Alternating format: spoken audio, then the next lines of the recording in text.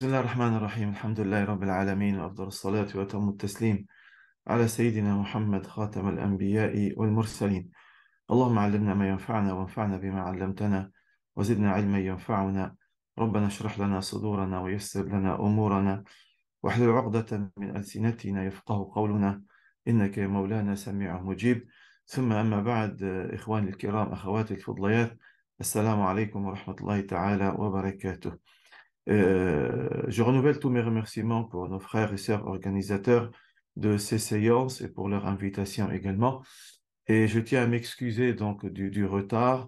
Euh, j'étais encore au travail et j'étais persuadé que c'était à 19h, parce que ma dernière intervention de lundi dernière était à 19h.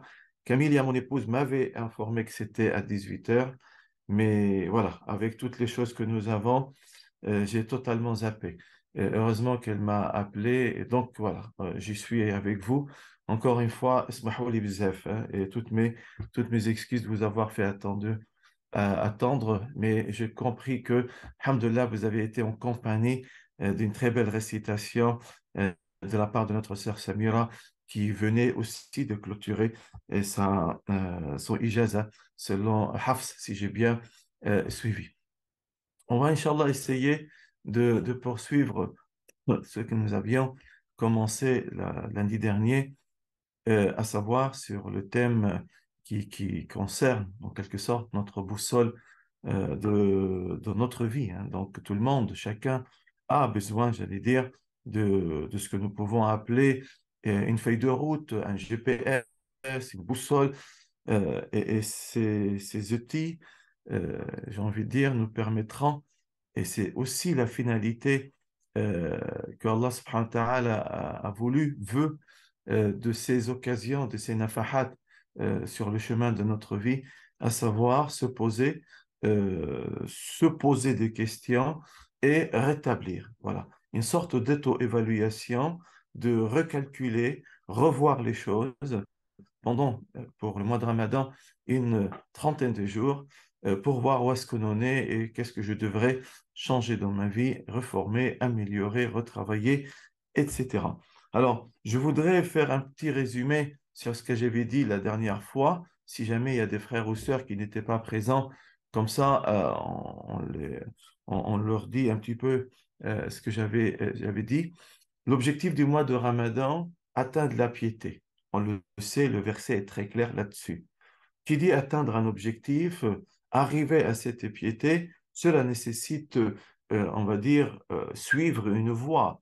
Quand on veut partir vers une destination donnée, ben, il faut euh, rester sur une, une voie, une route, j'allais dire, que dans notre jargon actuel, un GPS pourrait indiquer une boussole, etc. Cette voie, c'est As-Sirat al-Mustaqim que Allah nous décrit dans le Saint-Coran, voici ma voie, la voie de la rectitude, tenez-y bon, et ne suivez pas les petites voies ici et là euh, que euh, on rencontrerait, que la société, que nafs, que shaitan euh, euh, essayerait de nous embellir et qu'on serait un petit peu euh, perdu là-dedans. Le prophète sallam également nous l'a illustré par le hadith que vous connaissez, la ligne droite euh, et les petits chemins à droite et à gauche. Il dit, voici ma voie, suivez, suivez-la. Et donc, pour pouvoir tenir sur, une chemin, sur un chemin, pardon, et donc la voie de la rectitude, Asirat al-Mustaqim, bon, on a besoin d'une boussole pour justement atteindre la piété, atteindre la satisfaction d'Allah, atteindre, Inch'Allah, le, le paradis. On avait commencé à travailler ensemble cette boussole avec cinq réglages. Hmm? Toute boussole, vous savez, quand vous prenez votre GPS, vous vous mettez je pars à Marseille. Mais sauf que le, GPS a déjà plusieurs paramétrages de fait. Nous, on ne le sait pas. Nous, on, simplement, on met la destination. Là, il faut la destination, on la connaît, la piété, à travers le mois de Ramadan. Euh, Rid Allah subhanahu wa ta'ala, Inch'Allah, al-Firdaus al-A'la, mais on doit apporter aussi, vérifier le paramétrage, est-ce qu'il est bon, est-ce qu'il n'est pas bon, parce qu'il y a tellement de choses dans la vie qui perturberaient eh, tous ces paramétrages. Alhamdulillah, nous avons ce mois béni et d'autres occasions qui viendront euh, euh, plus tard dans notre vie, en tout cas tout au long d'une année. On a parlé du premier réglage, à savoir notre connexion, relation avec Allah subhanahu wa ta'ala. Le mois de Ramadan est à moi, justement, euh, hautement, profondément, intensement spirituel. Et on en a euh, parlé sur ces éléments-là. Euh, je voudrais peut-être préciser un point, c'est la notion de l'ons billah. Je ne me rappelle pas en avoir parlé ou je ne sais plus en tout cas. C'est-à-dire, s'il y a quelque chose à chercher, à acquérir, en plus des rites, des adorations qui sont intenses, les jeûnes, les prières, tarawih, la lecture du Coran, tout cela, ô combien noble et important, mais c'est ressenti au fond de nous, cette recherche au fond de nous, suis-je en quelque sorte en béatitude, à proximité d'Allah subhanahu wa ta'ala. La béatitude, c'est un bonheur immense, absolu, que le croyant doit ressentir, iman, ce plaisir de la foi, sur lequel il faudra travailler. Je lis le Coran, comment je le lis? Dans quel état je prie? Dans quel état je prie? Je jeûne Dans quel état je jeûne? Et j'ajouterai une phrase, mes frères et sœurs, pour terminer avec ce premier paramétrage de rappel. Est-ce que j'adore Allah aujourd'hui par devoir ou je l'adore par amour? Est-ce que je viens à la mosquée par habitude et contrainte, entre guillemets, ou je viens comme le prophète sallam, il a dit,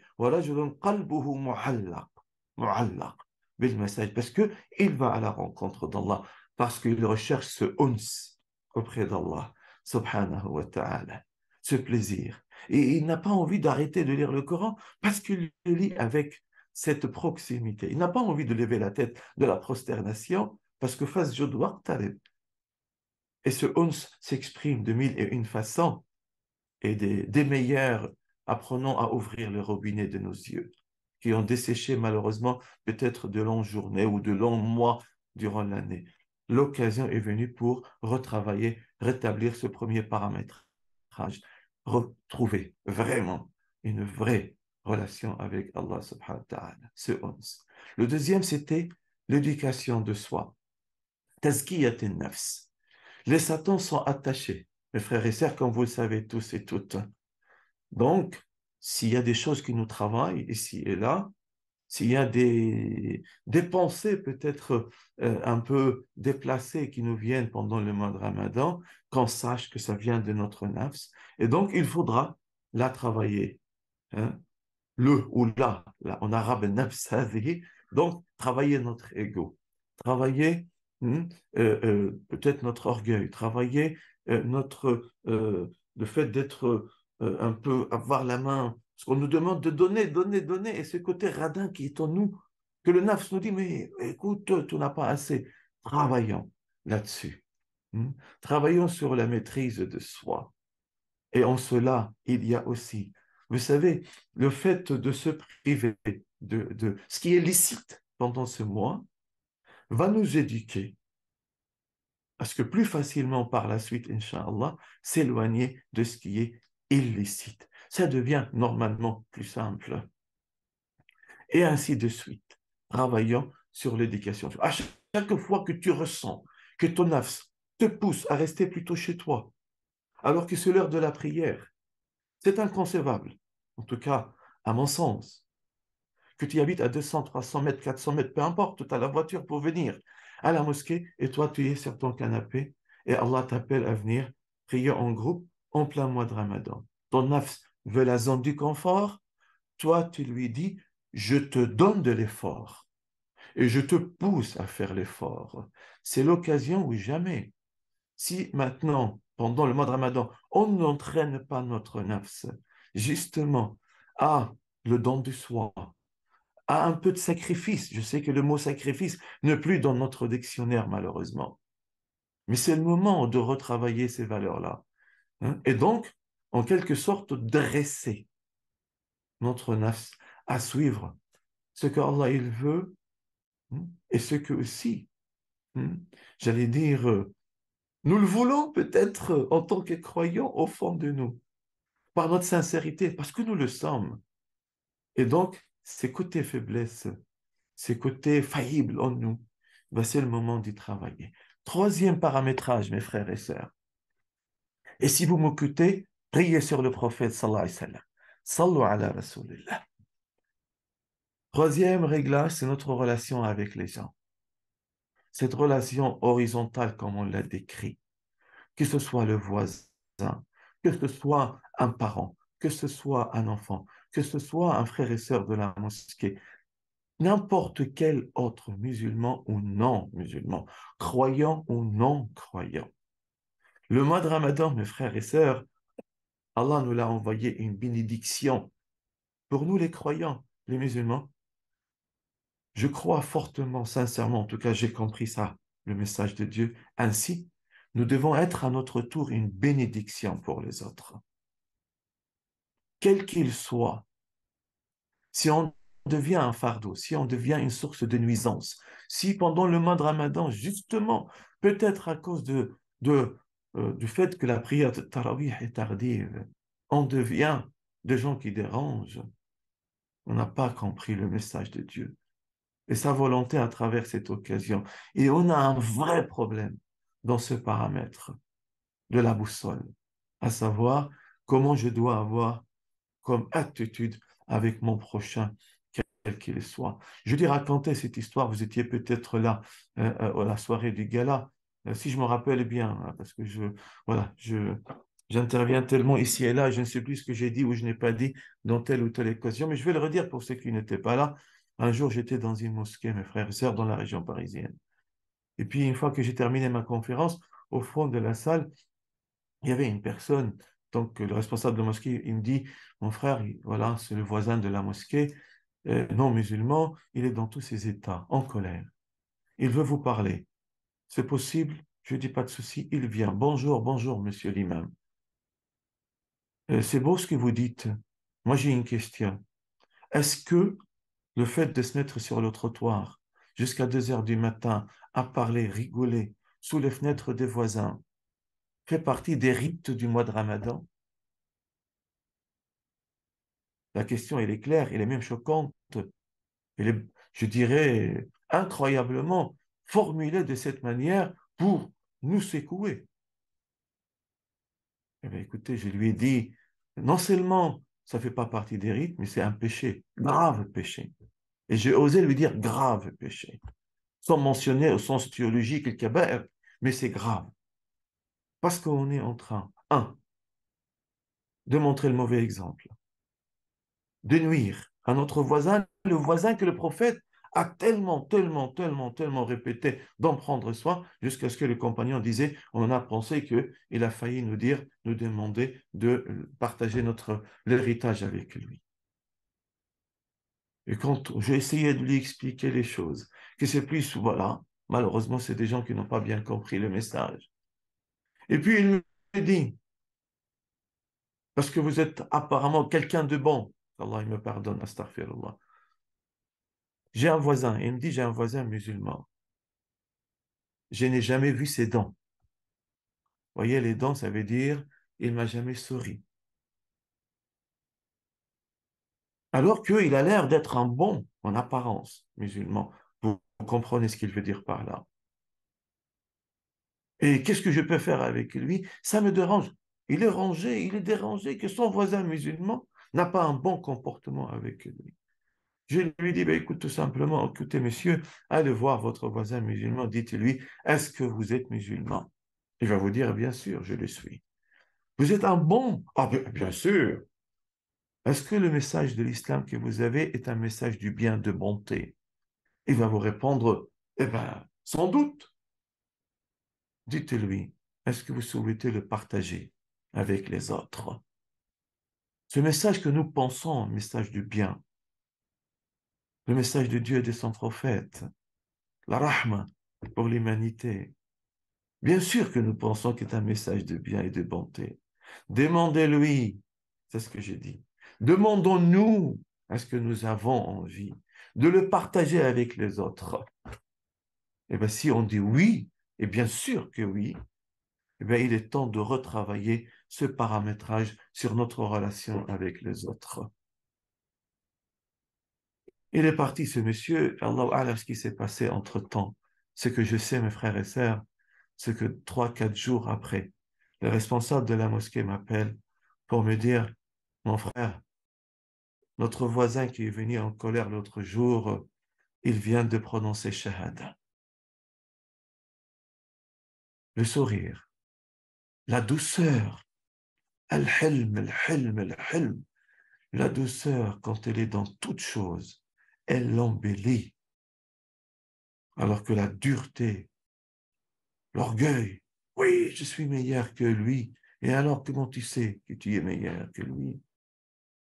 Quoi que tu sois et quel qu'il soit, ouvrons nos cœurs, montrons nos dons à travers la meilleure des actions que Dieu aime le plus, à savoir rendre le sourire, donner le sourire. C'est gratuit, mes frères et sœurs. Et que personne ne dise, parce que je l'ai entendu, et on nous dit, ah ben moi, tu sais, j'ai pas pris mon café ce matin. Oh, et alors? Ou malheureusement, je reviendrai sur la cigarette.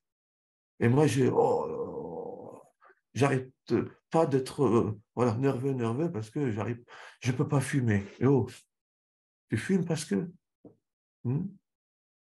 Et alors, si tu n'as pas pris ton café le matin, c'est quoi le problème de ton collègue? Pourquoi tu t'énerves contre ton collègue, contre ton camarade de classe, contre, je ne sais pas, quelqu'un qui pousse son chariot dans un supermarché et sans faire exprès, il t'a touché un petit peu, tu le regardes dans tous les... Et alors, on a oublié les hadiths du professeur c'est lui qui ne laisse pas, n'abandonne pas le, euh, le, le, blasphème, l'insulte, le gros mot, traiter les autres, Allah n'a pas besoin qu'il euh, laisse sa nourriture et sa boisson. Vous savez, si on y pense, on le sait, mais il faut y penser. Il faut en être convaincu. Et c'est ainsi qu'on va se maîtriser vis-à-vis -vis des autres. Pour ne pas rater notre jeûne. Et un autre hadith, si c'est le jour, du ramadan et que quelqu'un t'insulte, te provoque, et même le hadith, c'est-à-dire il veut faire la bagarre avec toi. Ne succombe pas à la provocation. Dis Allahumma inni sa'im, Allahumma inni sa'im, Allahumma inni sa'im. Vous ne pourrez pas imaginer l'impact de ce comportement avec votre prochain qui est en train de vous voir réagir ainsi, alors que peut-être ils s'attendaient à autre chose. Et qu'est-ce que ça peut faire dans leur tête? Je ne veux pas parler de moi, mes frères et sœurs. Un petit exemple au boulot. Un jour, quelqu'un me croise, que je connais bien. Il me dit, Hassan, je vais être franc avec toi.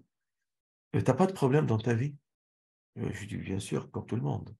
Nous en avons tous des soucis, des préoccupations, euh, quels qu'ils soient. Je dis, mais pardon, pourquoi tu me poses cette question? Il me dit, mais parce que je te vois tout le temps souriant. Je te vois tout le temps souriant, comme si tu n'as pas, pas de soucis, de problème. je lui ai dit, sourire est une aumône en islam. Je n'ai pas besoin de vous montrer mes soucis et mes problèmes. Je dois avoir un bon comportement avec tout le monde. Et ça, ça fait tilt dans la tête. Si le mois de Ramadan ne nous aide pas à rétablir ce paramétrage sur la relation avec les autres, il faut se poser, se reposer des questions, mes frères et sœurs. Il ne faut pas dire ouf, ça fait long la journée. Qu'est-ce que tu as Je suis fatigué, je jeûne. Oh. Donc ton mois de Ramadan, ton mois de Ramadan, dirait ton collègue du travail, ton camarade de classe, etc., ah ben à ce point, t'épuises. Wallah, mes frères et sœurs, même si on est fatigué, il ne faut pas l'entrer. Hmm. Et il faut garder vraiment hein, une, belle euh, apparence, hein, une bonne douceur avec les autres, quoi qu'il arrive. La relation avec les autres. Voilà, la rahma. Nous sommes une rahma sur terre une miséricorde sur terre, une bénédiction pendant ce mois de Ramadan et bien au-delà du mois de Ramadan. Propageons cette miséricorde, propageons cette bénédiction, propageons cette paix. Le quatrième réglage, mes frères et sœurs, vous vous en doutez peut-être, j'ai commencé à prononcer le mot. Régler retravailler, vérifier ta santé. Ta santé. Allah veut de nous, nous les croyants musulmans, que nous soyons des personnes équilibrées, stables, qui tiennent bon, justement, le chemin de la rectitude pour atteindre cette piété, pour accomplir une mission sur terre, pour être utile et bon pour les autres, avec les autres. Eh bien, si on n'a pas une bonne santé, c'est pas évident. Je ne parle pas de ceux que Allah a éprouvés, sans qu'ils eux-mêmes y interviennent. Alors celui qui fume, j'espère que personne ne fume, j'en suis même persuadé de ceux qui m'écoutent. Mais à travers vous, peut-être d'autres fument. Je vais vous dire quelque chose, mes frères et sœurs.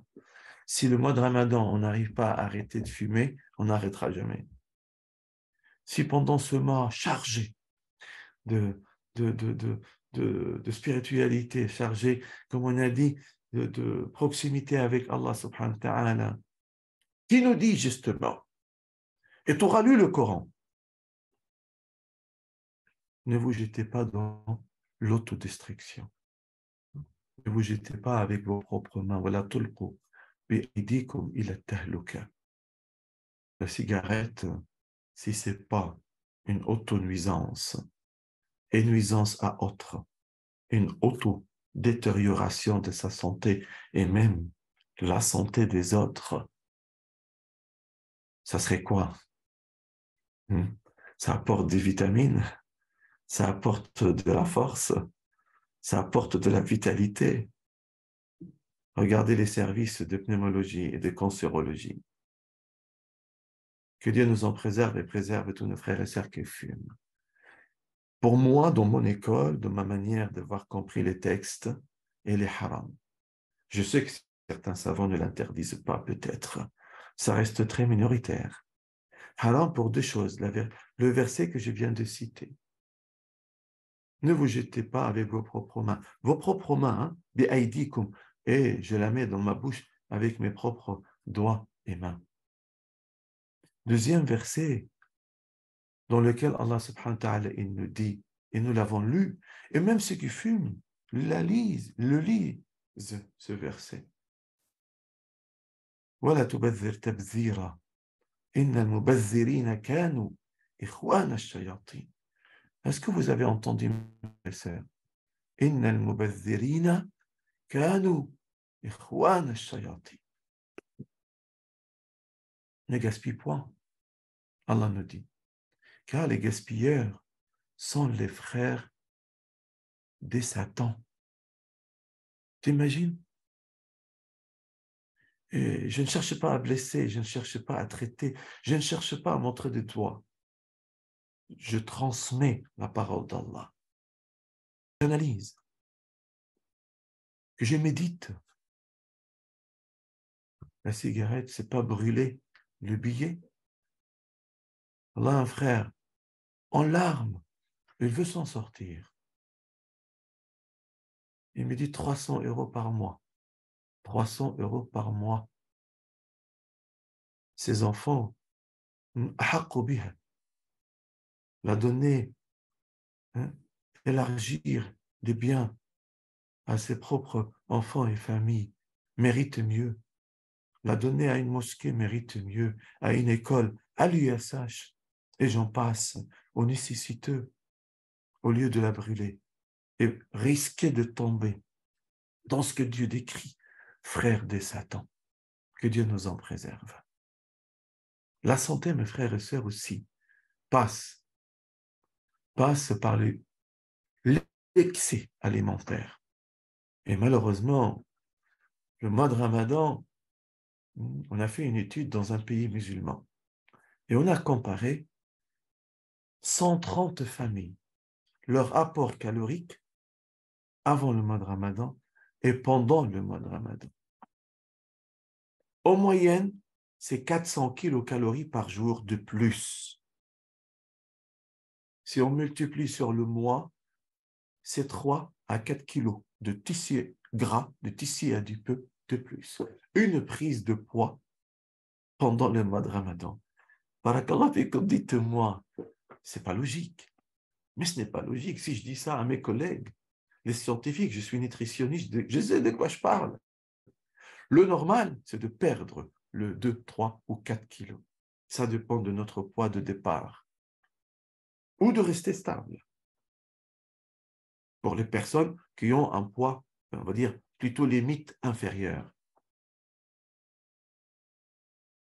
Mais quand on a et un poids normal ou limite supérieure ou surpoids ou obèse, avec tout le respect que je dois pour tout le monde, eh ben on doit profiter de ce mois de Ramadan pour rétablir cette notion de santé, rétablir notre addiction au sucre, addiction au gras. Et bien sûr, la cigarette, j'en ai parlé.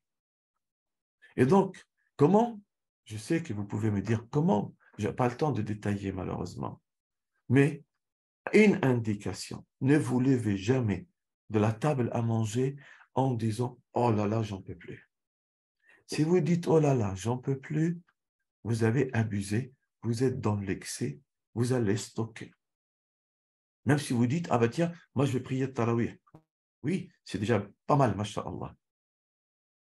Mais il qui vont revenir de Tarawih. Mon conseil, après Tarawih, c'est un peu de fruits, un petit dessert s'il le faut, avec une boisson, un thé, si vous voulez. Mais si vous mangez trop tardivement, trop gras, trop calorique, et vous allez dormir, la phase nocturne de sommeil, surtout si on mange tard, une phase va être une phase de stockage. C'est pour cela le repas du matin de suhoor doit être le repas, le vrai repas. Je sais que certains jeunes enfin jeunes et moins jeunes, sont en train de se dire Oh, mais moi, je ne peux pas manger le matin. Ça fait tôt quand même manger à 5 heures. Hmm? Mais parce qu'il a dormi, il s'est couché à 1 heure du matin. Ou il a mangé trop tard. Quand on mange trop tard, ben c'est sûr, le matin, j'ai encore l'estomac rempli. Et surtout, si je mange trop gras, le gras se digère très lentement. Et donc, oui, je n'ai pas envie de manger le matin. Hmm? Si je mange tardivement ou je me couche tardivement, je ne suis pas bien. Alors que si on suit bien quelques règles hmm, d'un bon sommeil, hein, de manger léger avant de dormir, après tarawih, ben, on se réveillera et on pourra manger, Inch'Allah. Hmm, et rester en bonne forme pour pouvoir justement accomplir les adorations. On a besoin de la santé pour accomplir euh, les rites. Et je termine avec un point sur ce élément santé. Il semble que certains compagnons j'ai lu ça dans certains récits, quand ils se croisaient, ils demandaient à leurs frères comment va la santé, avant de leur demander comment va la foi. Et certains étaient étonnés, comme aujourd'hui. Imaginez si vous croisez quelqu'un, vous dites, ah ben, c'est ce qu'on fait, hein? comment ça va, comment ça va, comment ça va? À l'époque, on demandait aussi comment va la foi. Mais on posait la question, comment va la santé avant? Et certains disent, mais mon frère, tu me poses la santé d'abord avant la foi. Pourquoi? Et il lui dit,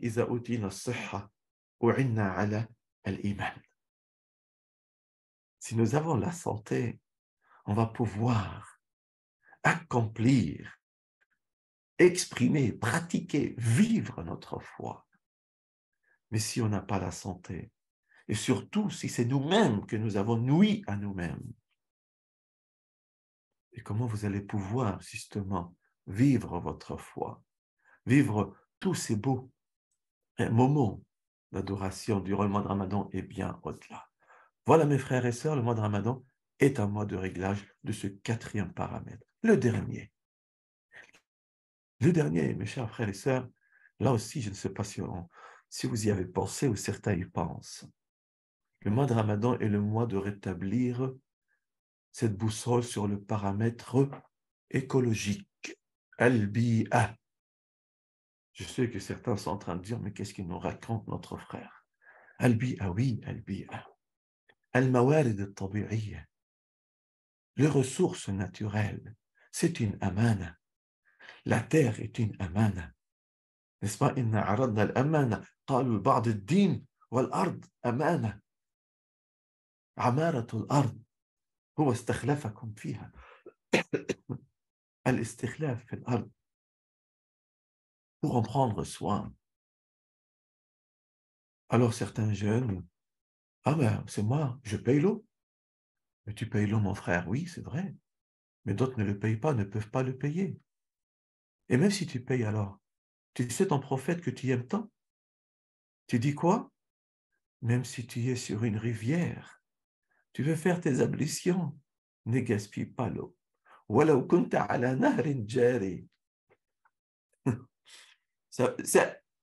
Pardonnez-moi le terme, si on prend ça en absolu, si ça a été quelqu'un, je sais qui, qui l'a dit, on dit, mais c'est pas insensé. C'est insensé. Astaghfirullah. Parce que dans notre logiciel, logique, rationalité d'aujourd'hui, mais la rivière, elle coule, coule. Donc, euh, qu'est-ce que je gaspillerais, moi, si j'en abuse un peu? Mais parce que si toi, tu en abuses, 600 000 abusent, si un million abusent, ben, ceux qui sont plus loin, hmm, on avale, ben, n'auront pas suffisamment d'eau, peut-être. Et même, c'est symbolique pour nous apprendre de savoir comment ouvrir et fermer ton robinet quand tu fais tes ablutions. Ta douchette, ta douchette, une heure, c'est ouvert à fond. C'est haram. Pardonnez-moi, j'ose, parce que je sais de quoi je parle. On a dit tout à l'heure Al-Israf, le frère de Satan. Alors que tu peux tout à fait le faire pendant un quart d'heure, 20 minutes, je ne sais pas. Une demi-heure, je ne sais pas. Chacun, il a. Hein, mais ne pas abuser, ne pas user, ne pas gaspiller ses ressources naturelles, aussi bien l'eau que alimentaire. Combien on jette à la poubelle? Combien on jette à la poubelle, mes frères et sœurs? À l'échelle personnelle privée, à l'échelle collective dans nos mosquées, je ne parle pas à une plus grande échelle. Quand ils font de grands festins, quand ils font des grands iftars, hmm, combien, combien, combien de biens partent à la poubelle. Il paraît qu'à l'époque de Moïse, alayhi salam, on rapporte que un abd, serviteur, a dit à Moussa, Kalimullah, Is'al Rabbak, hein, an demande à Allah qu'il me donne de ses largesses. Et c'était quelqu'un de bien, cette personne. Moussa a demandé à Allah, Ya Rab, hein, hein, élargis pour lui, t'es bien. Allah, il dit, Ya Moussa, qad ta demande, Ya Moussa, mais à condition, demande à mon serviteur, je vais lui donner la moitié de sa vie avec des largesses, des biens, et l'autre moitié éprouvée. Et dis-lui qu'est-ce qu'il veut d'abord? Est-ce que d'abord les biens et les largesses ou d'abord l'épreuve Moussa demande à ce serviteur hmm, et cette personne et dit non, non, non, je vais commencer ma vie avec les largesses. Je suis encore jeune, je peux en quelque sorte en profiter au bon sens du terme. on rapporte que ce serviteur, Allah a ouvert sur lui de ses biens. Mais tellement il était chakour, tellement il prenait soin de Ni'ma, tellement il ne gaspillait pas, qu'il a mis pour ses enfants comme une sorte de sac. Pour quand ils mangent, ils ne mettent pas partout. Combien de graines de riz on en met partout? Combien hein, on laisse des miettes partout? Je sais que c'est peut-être exagéré à notre époque, à notre état d'esprit. C'est pas aussi exagéré que ça, mes frères et sœurs. C'est primordial si on a bien compris le message de Dieu. Et donc, euh, la première moitié des biens est passée. Et les largesses d'Allah continuent. Et ce serviteur va voir Moussa, mais Moussa, tu m'as dit que? Et Moussa s'adresse à Allah. Ya Rab, ça y est? Et Allah dit à Moussa, mon serviteur a su être reconnaissant, a su prendre soin, préserver le ni'ma que je lui ai donné, et moi le plus généreux. Voilà in shakartum la azidanakum. Mes frères et sœurs, et Wallah, Ibn Atta al-Sakandari, Vous connaissez le Hikam al-Ata'iyya qui dit, et si vous notez, notez ça, c'est tellement fort. Il dit, Shukr ni'ma, mawjoud, wa saydul mafqoud, qaydul mawjoud. Le fait de prendre soin de ni'ma, de ne pas gaspiller, de montrer à Allah la valeur, éduquer nos enfants avec ça, sans tomber hein, dans, dans, dans, dans l'extrême d'être avare, comment ils nous en préserve. Mais ne pas jeter ni son argent, ni ses biens, ni n'importe comment, ni la nourriture à la poubelle, etc. Alors pour traduire cette sagesse de Ibn Atta, il dit, le fait de reconnaître une ni'ma, les bienfaits, elle protège l'existant. Vos biens que vous avez, le fait d'en faire le vrai shukr, ne pas les gaspiller. Allah les préserve. Et Saïdul Mafkoud, en quelque sorte, c'est la chasse au trésor. vous allez hein, retrouver ce que vous n'avez pas. Allah vous donnera par le shukr ni'ma, ce que dont vous n'avez pas encore. Et il vous, en donnera encore plus. Un peu l'histoire euh, de, euh, de ce serviteur avec Moussa.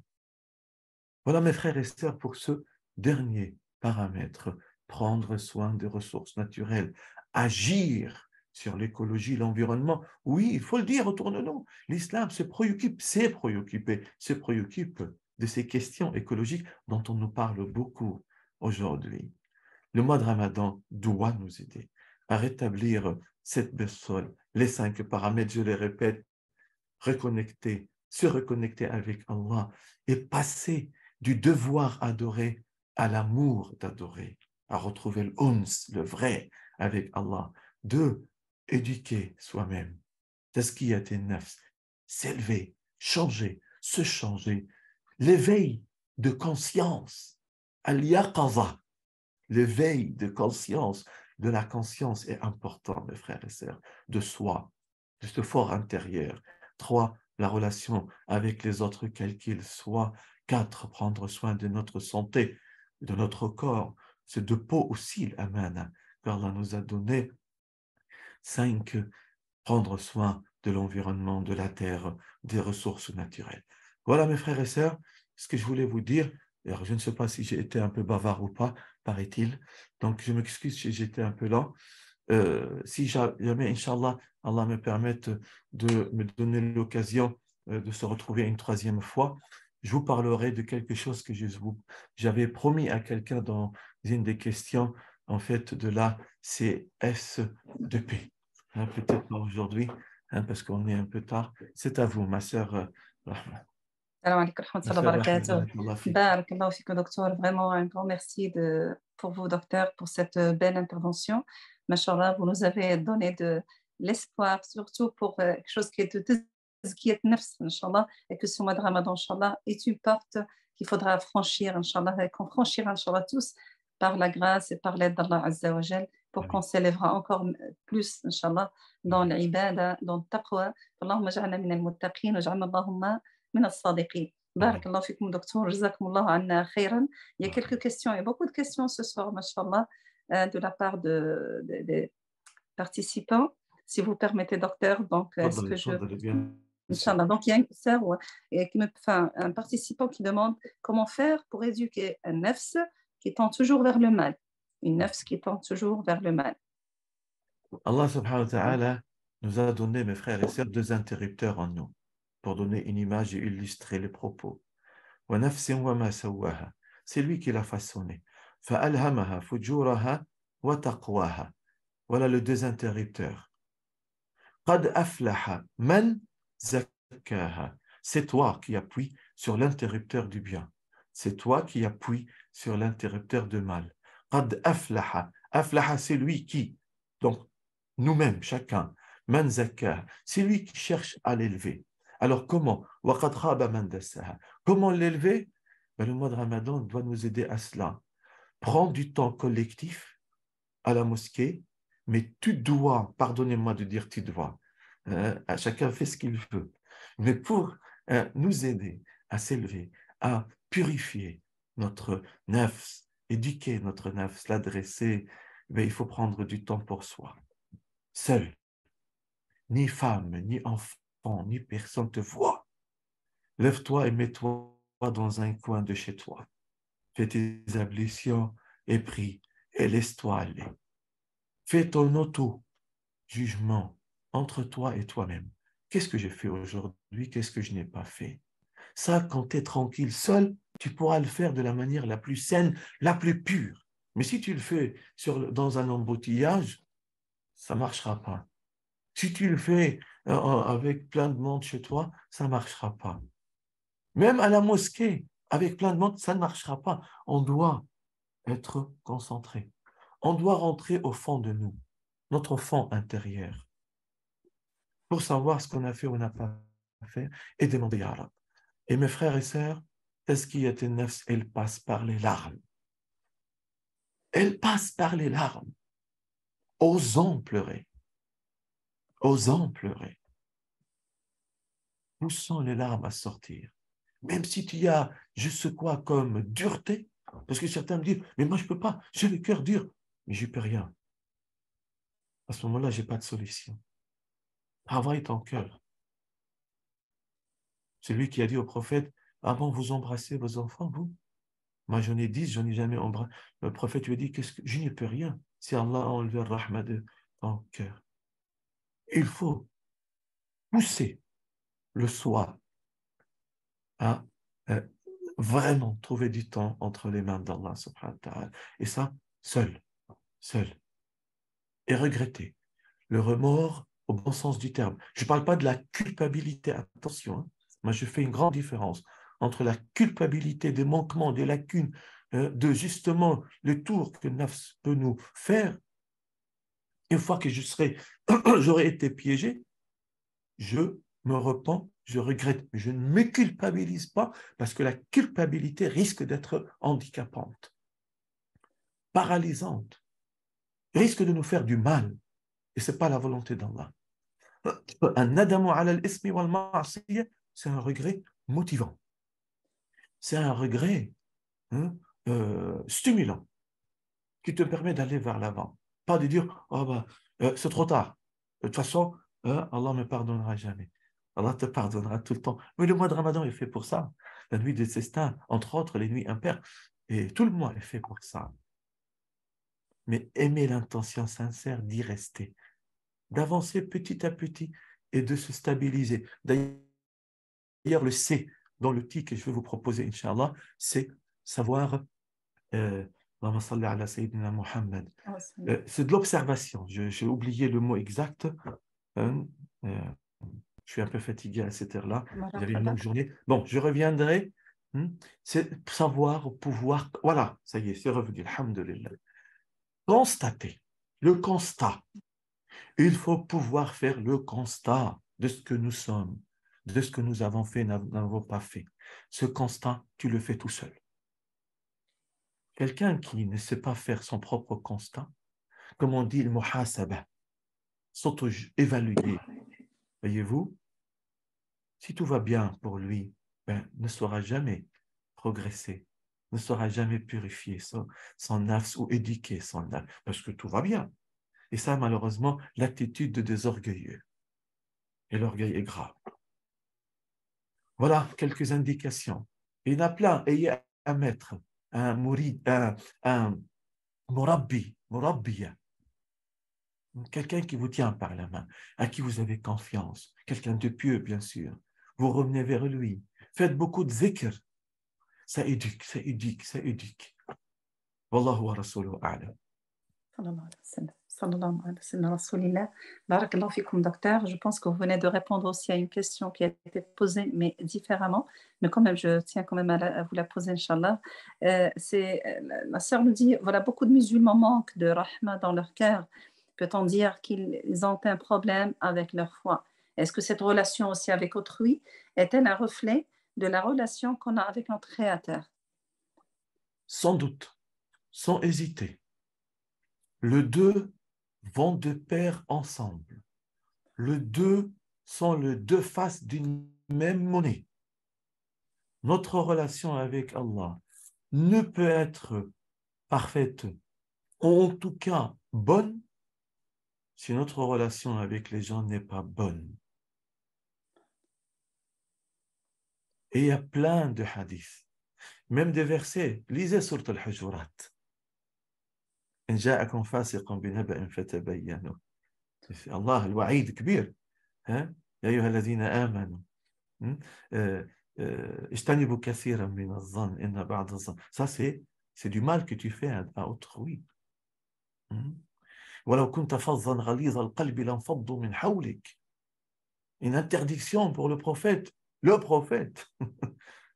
Allah l'interpelle de ce coup. وجادلهم بالتي هي أحسن sois doux الحلم ما كان في شيء إلا زنا le dire du prophète صلى الله عليه وسلم لا يؤمن أحدكم حتى يحب لأخيه ما يحب لنفسه personne ne peut atteindre hein, la, la vraie foi hmm? s'il n'aime pas pour son prochain ce qu'il aime pour lui et comment je peux aimer pour mon prochain quelque chose que j'aime pour moi si j'ai pas de rahma si je ne l'aime pas hein, dans l'humanité si c'est pas un musulman Hein, et dans la, dans la foi si c'est en hein, musulman. Oui, mes frères et sœurs, la rahma doit être dans le prophète est le modèle de la rahma. Et quand Allah, regardez le verset, illa.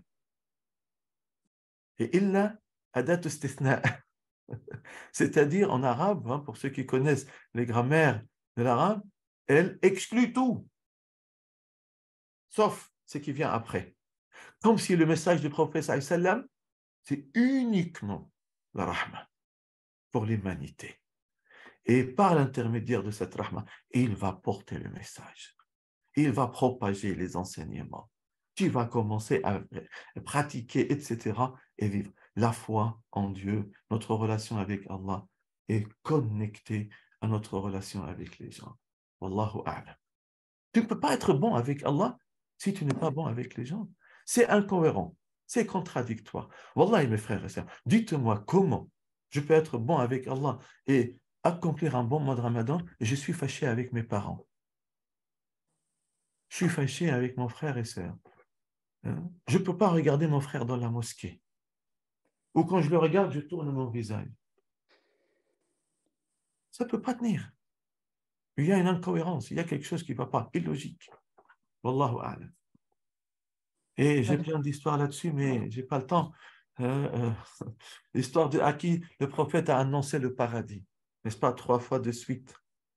Ce n'est pas quelqu'un de connu, ce n'est pas un des grands compagnons, un simple personne de l'époque prophétique. On ne sait même pas comment il s'appelle d'ailleurs. Hmm? Et c'est Anas ibn Malik qui la raconte.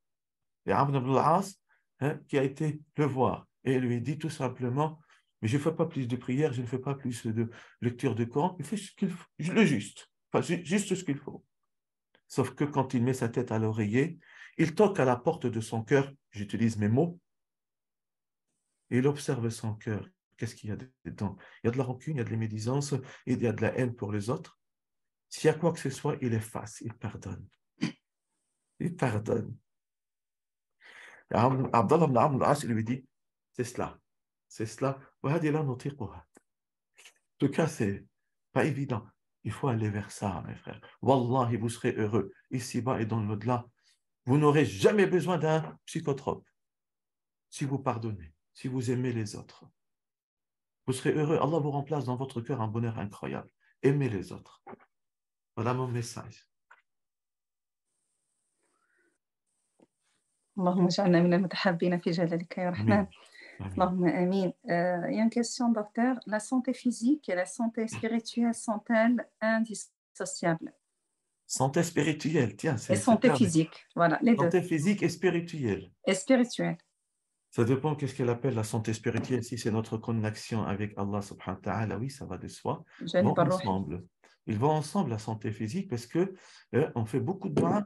Hein, oh, Allah préserve notre santé. Allah m'a ala ta'ati. Donne-nous la force pour que nous puissions t'adorer comme il se doit.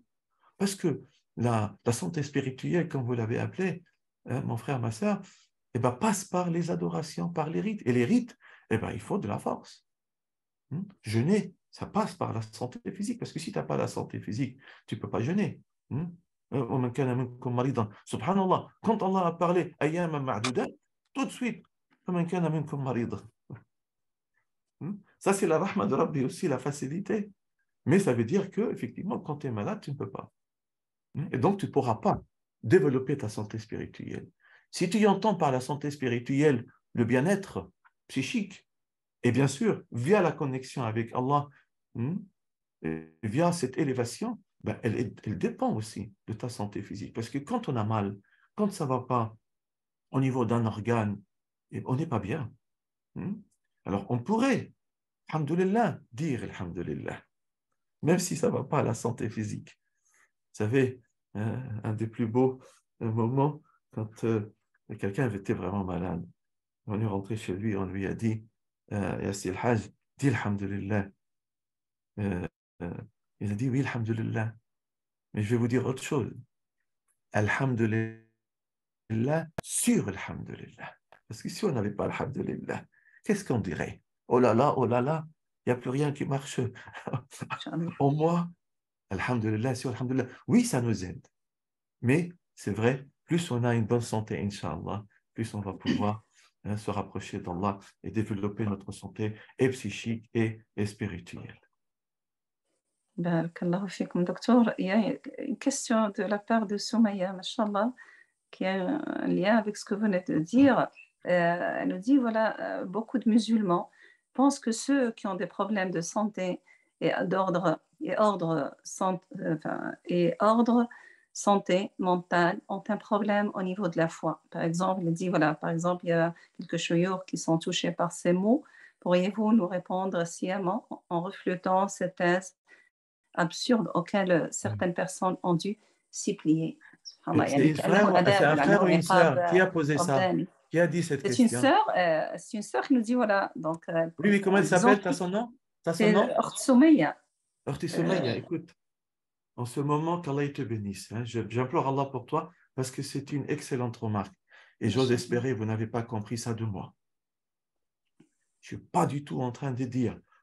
Et si vous avez compris que c'est lui qui n'a pas la santé ou Allah l'a éprouvé par sa santé, il ne pourra pas avoir une bonne foi, c'est que je euh, euh, me, me, serait totalement raté mon intervention.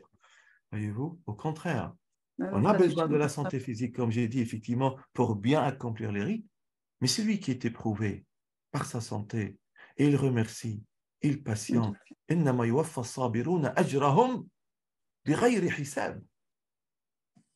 Ceux qui endurent, ceux qui, ont, qui sont éprouvés par leur santé, mais ils peuvent atteindre de plus hauts degrés du paradis Peut-être même plus que celui qui va prier, qui va jeûner et qui va accomplir le hajj et faire des rites physiques.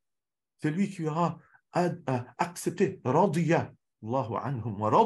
Hein, Il a accepté ce que Allah lui a envoyé comme épreuve dans sa santé.